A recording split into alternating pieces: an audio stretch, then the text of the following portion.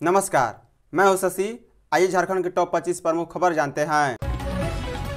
केजरीवाल की गिरफ्तारी के विरोध में एएपी को जेएमएम का साथ। दिल्ली के मुख्यमंत्री अरविंद केजरीवाल की गिरफ्तारी के विरोध में आंदोलनरत आम आदमी पार्टी को झारखंड मुक्ति मोर्चा का साथ मिला है। झारखंड के मुख्यमंत्री चंपाई सोरेन ने दिल्ली के मुख्यमंत्री अरविंद केजरीवाल की गिरफ्तारी का विरोध किया है। चंपाई सोरेन ने अरविंद केजरीवाल की गिरफ्तारी पर सवाल उठाया है। उन्होंने एक्स पर सवाल किया है कि लोकसभा चुनाव जीतने के लिए किस हद तक जाएँगे। राजनीतिक दलों को तोड़ने, विधायकों को डराने, धमकाने व लालच देकर सरकारें गिराने के बाद अब विपक्ष के मुख्यमंत्रियों की गिरफ्तारी आम बात हो गई है। वहीं पूर्व मुख्यमंत्री हेमंत सोरेन की पत्नी कल्पना सोरेन ने भी एक्स पर लिखा है कि इन्हें लगता है करोड़ों लोगों का नेतृत्व कर रहे जन नेताओं को गिरफ़्तार कर ये फिर से गद्दी पर बैठ जाएँगे। देश की स्वाभिमान निडर जनता इनके भ्रम और अहंकार का मुंहतोड़ जवाब देगी। आपको बता दें कि अरविंद केजरीवाल की गिरफ्तारी के विरोध में आपने जमशेदपुर में आक्रोश रैली निकाली, जो उपायुक्त कार्यालय के पास जाकर खत्म हुई।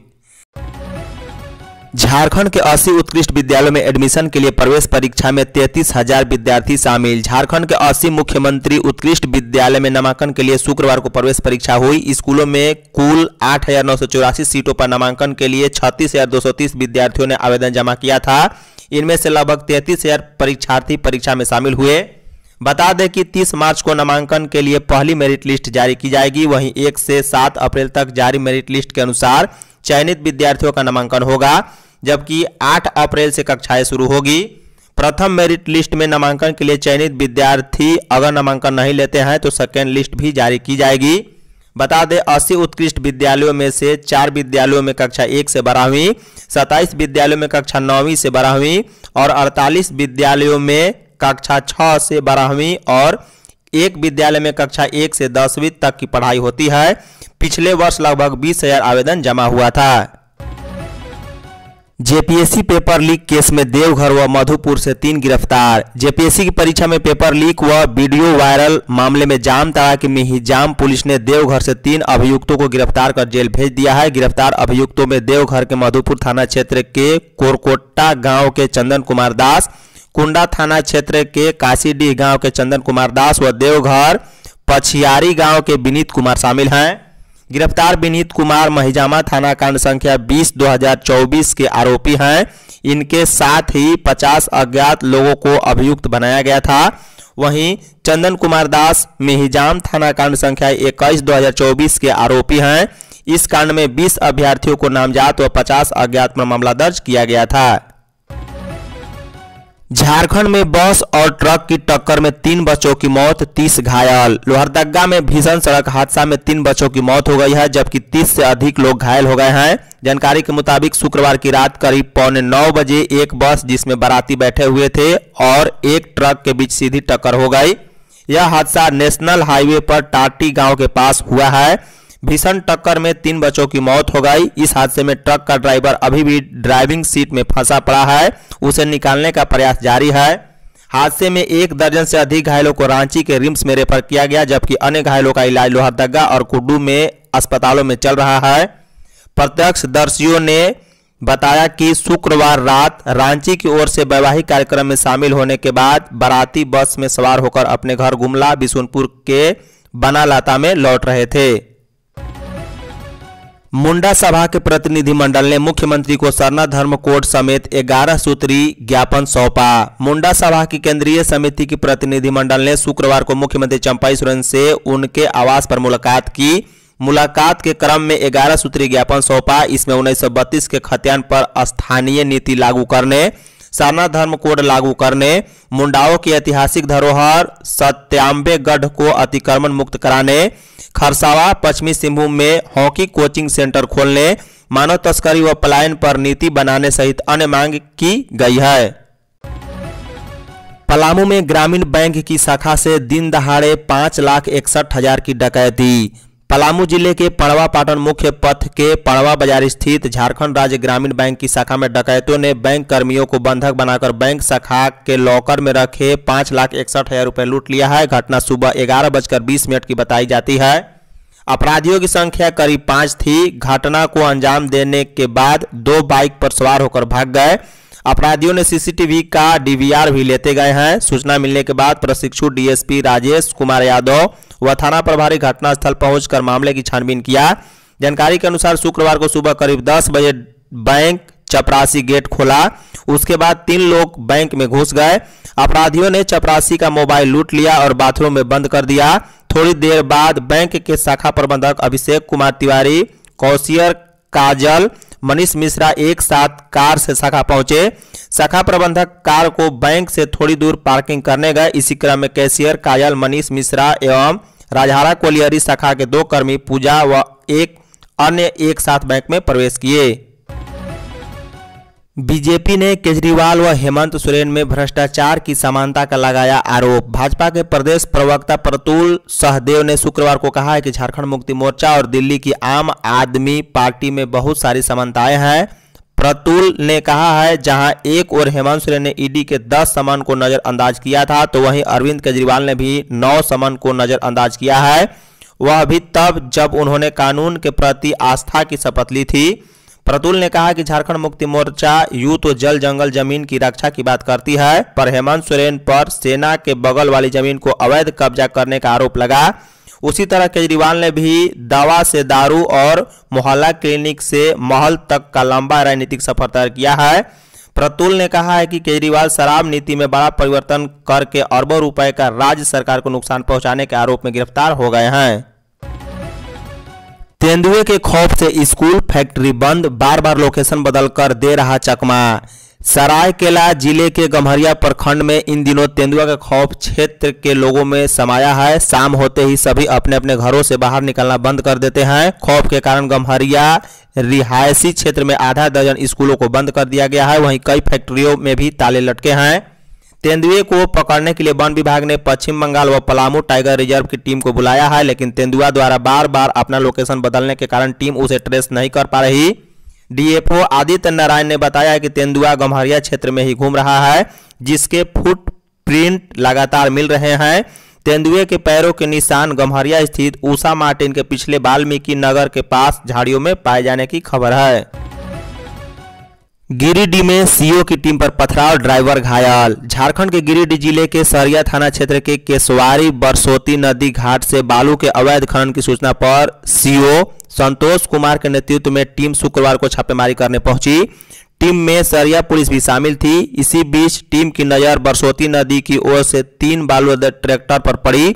जैसे ही टीम ने बालू लदे ट्रैक्टर को रोकने का प्रयास किया, अचानक काफ़ी संख्या में ग्रामीण पहुँचे और अधिकारियों से उलझ गए। देखते ही देखते केसवारी चौक के पास लगभग 100 से 150 लोग एकत्रित हुए और प्रशासनिक अधिकारियों के विरोध में नारेबाजी करने लगे। पत्थरबाजी में सरिया थाना का चौकीदार सहचालक छोटे लाल ठाकुर घायल हो गया। वहीं अन्य को हल्की चोट आई है।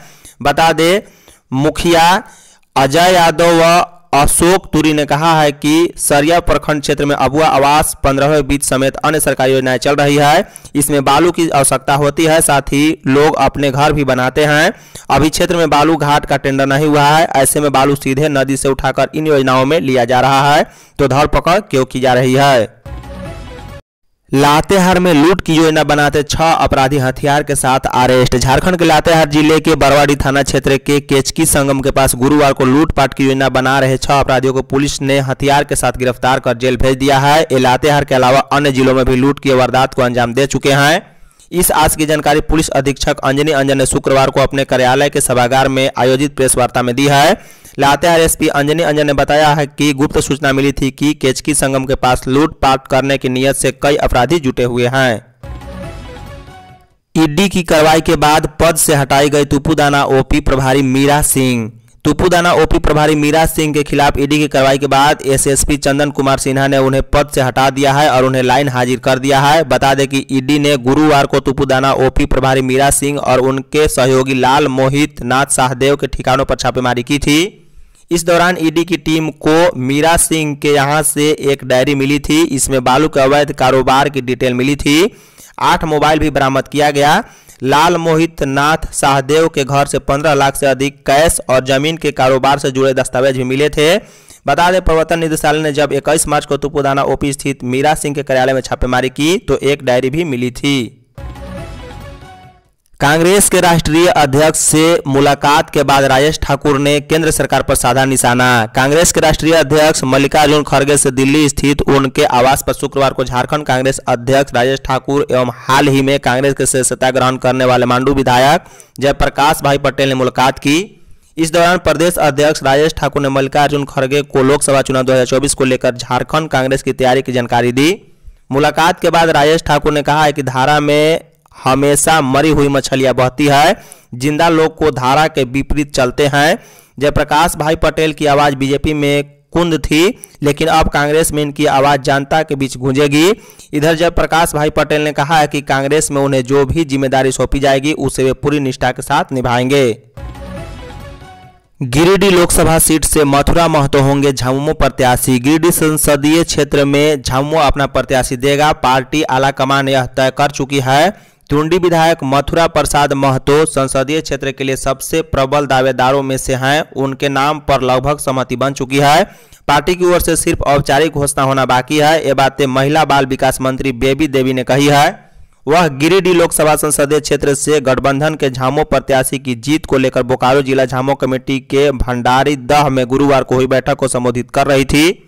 बैठक की अध्यक्षता करते हुए मंत्री बेबी देवी ने कहा है कि अभी से सभी कार्यकर्ता व पार्टी नेताओं को लोकसभा चुनाव की तैयारी में जुट जाने का आह्वान किया। उन्होंने कहा है कि चुनाव में हर हाल में इस सीट से झामो प्रत्याशी की जीत सुनिश्चित है। होली में सात स्पेशल ट्रेन चलाने का निर्णय। पूर्वी रेलवे से शुरू होने वाली होली स्पेशल ट्रेन अभी भी अपनी सेवा जारी रख रही है और इन ट्रेनों में बर्थ अभी भी उपलब्ध है। होली को लेकर पूर्व रेलवे ने सात ट्रेनों की चलाने की मंजूरी दी है। इससे पहले भी 45 होली स्पेशल ट्रेनों की मंजूरी दी गई। ये ट्रेनें 23 मार्च से लेकर 20 अप्रैल के बीच अलग अलग दिनों में चलेगी। यह जानकारी पूर्व रेलवे के सीपीआरओ कौशिक मित्रा ने दी है। इसके अंतर्गत ज़ीरो तीन एक तीन तीन सियालदा गया स्पेशल ट्रेन 24 मार्च को एसी तीन, टीयर और स्लीपर क्लास कोच के साथ चलेगी।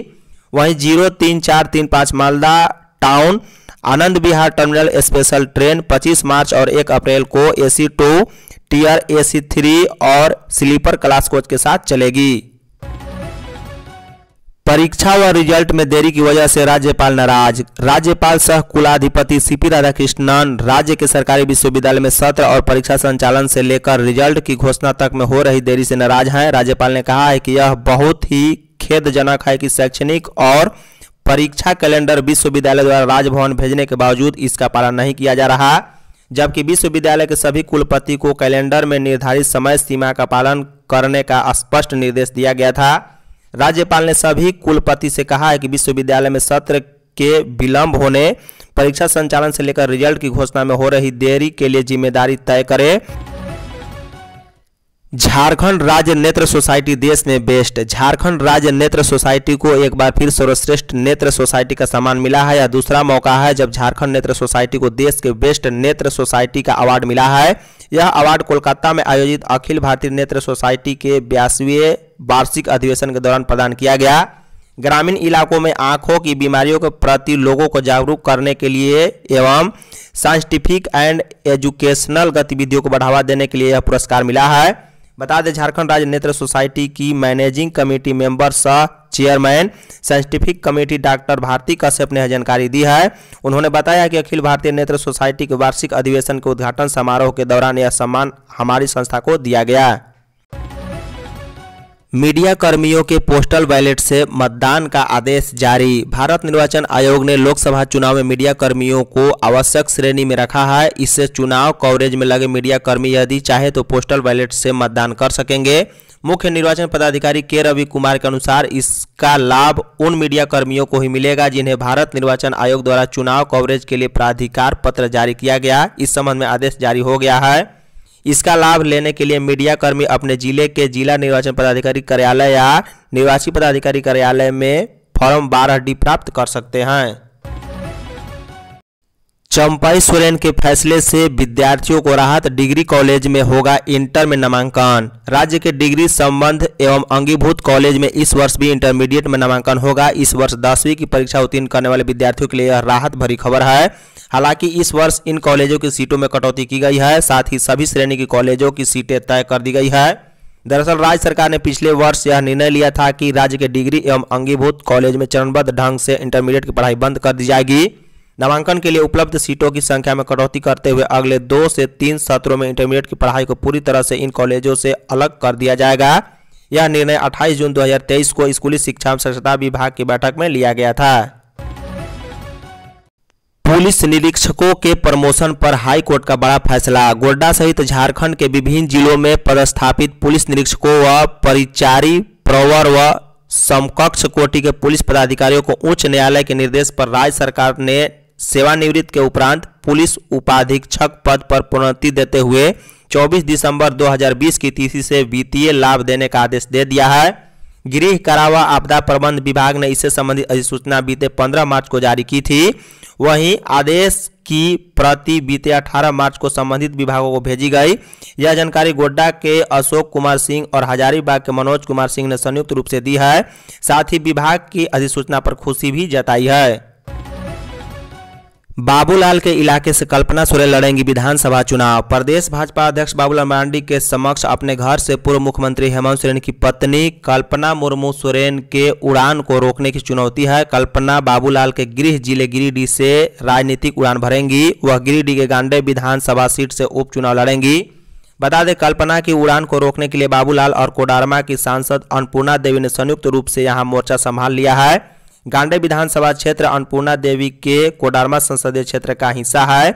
वैसे जानकर बता दें कि गांडे में कल्पना को रोकना बाबूलाल और भाजपा के लिए आसान नहीं होगा।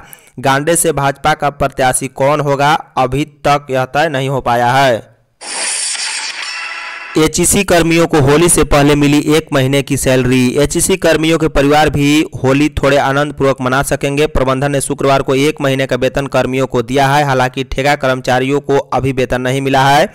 मिली जानकारी के अनुसार शनिवार को उनको भी वेतन देने की तैयारी है। इसके लिए चिट्ठी सीएमडी को भेज दिया गया।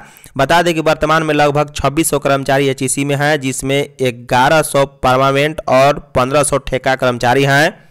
जानकारी के अनुसार ठेकादार नहीं होने के कारण ठेका मजदूरों का वेतन नहीं हो सका, जिसके लिए मजदूर एक्ट के तहत ठेकेदार के नहीं रहने पर सीएमडी स्तर के अधिकारी वेतन कर सकते हैं। रांची के विद्यानगर चौमिन फैक्ट्री में लगी आग। रांची के विद्यानगर बड़ी मोहल्ले स्थित लोकेश कुमार की चौमिन फैक्ट्री में गुरुवार की देर रात आग लग गई। लोकेश कुमार ने बताया कि देर रात लगभग दो से तीन के बीच में आग लगी। शॉर्ट सर्किट की वजह से आग लगने की आशंका है। आगलगी की जानकारी मिलने के बाद आसपास के लोगों की मदद से आग पर काबू पाने का प्रयास किया गया, मगर तब तक फैक्ट्री लगभग जल चुकी थी। भोर चार बजे के करीब दमकल की मदद से आग पर काबू पाया गया। अगलगी की इस घटना में लोकेश कुमार को भारी नुकसान हुआ है। लोकेश की माने तो 10 लाख से ज़्यादा की क्षति हुई है। बीजेपी ने निर्वाचन आयोग को सौंपा कांग्रेस विधायक का कथित ऑडियो क्लिप। भाजपा ने मुख्य निर्वाचन पदाधिकारी के रवि कुमार को महंगामा की। कांग्रेस विधायक दीपिका पांडे सिंह का एक कथित ऑडियो क्लिप सौंपा है। भाजपा ने दावा किया है कि ऑडियो क्लिप में विधायक की आवाज़ है और वह किसी मुखिया रफीक भाई के साथ बातचीत कर रही है। प्रदेश प्रवक्ता प्रतुल शाहदेव के नेतृत्व में भाजपा के एक प्रतिनिधिमंडल ने मुख्य निर्वाचन पदाधिकारी से मुलाकात कर उन्हें ज्ञापन भी सौंपा और मामले की जाँच कराने की मांग की है। उन्होंने कहा है कि इस बातचीत में आचार संहिता का खुलम खुला उल्लंघन हो रहा है और भ्रष्टाचार से संबंधित बड़ा रैकेट के होने की भी आशंका से इनकार नहीं किया जा सकता। भाजपा ने कहा है कि ऑडियो क्लिप में हुई बातचीत में जिस बुलबुल का ज़िक्र हुआ है, वह कौन है, जिसे विधायक 25 लाख रुपए देने की बात कह रही है। सुंदरनगर चेसायर होम में विशेष बच्चों ने खेली होली। होली नज़दीक आते ही लोगों पर खुमार छाने लगी है। शुक्रवार को सुंदरनगर स्थित चेसायर होम में विशेष बच्चों ने राधा कृष्ण सुदामा और गोपियों संग फूलों और अबीर गुलाल की होली खेली। होली के गीतों पर स्थानीय कलाकारों के साथ ही विशेष बच्चों तथा उपस्थित लोग भी खूब थिर के फूलों की पंखुड़ियाँ बरसाकर और गुलाल उड़ाकर विशेष बच्चे होली के रंग में रंग गए। यह आयोजन हर साल की तरह इस साल भी सीने तारिका माधुरी दीक्षित के फ़ैन पप्पू सरदार की ओर से किया गया। पप्पू ने अपने चीर परिचित अंदाज जोकर के वेश में विशेष बच्चों संग होली के खुशियाँ बांटी। साथ ही होली के दिन नशा नहीं करने, हुड़दंग करने से परहेज तथा राधा कृष्ण की तरह खुशियाँ बांटने का संदेश दिया। पूर्व सीएम हेमंत सोरेन ने सुप्रीम कोर्ट में दाखिल की याचिका। झारखंड के पूर्व सीएम हेमंत सोरेन ने सुप्रीम कोर्ट में याचिका दाखिल की है। इस याचिका के माध्यम से उन्होंने झारखंड हाई कोर्ट के उस आदेश को चुनौती दी है, जिसमें उन्हें विधानसभा सत्र में शामिल होने की अनुमति नहीं दी गई थी। अपनी याचिका में उन्होंने यह मांग की है कि आने वाले दिनों में आहूत होने वाले विधानसभा के सत्र में उन्हें शामिल होने की अनुमति दी जाए। दरअसल हेमंत सोरेन मनी लॉन्ड्रिंग के आरोप में न्यायिक हिरासत में हैं। पिछले महीने हुए विधानसभा के बजट सत्र में शामिल होने के लिए उन्हें पीएमएलए कोर्ट और हाई कोर्ट से अनुमति मांगी थी, लेकिन दोनों ही अदालतों ने उन्हें सत्र में शामिल होने की अनुमति देने से इनकार करते हुए उनकी याचिका खारिज कर दी थी। धन्यवाद। यदि आप चैनल पर नए हैं तो चैनल को सब्सक्राइब कर बॉल का बेल आइकन दबाइए, साथ ही साथ वीडियो को एक लाइक कर अपने दोस्तों के साथ शेयर करना ना भूलें। Thank you.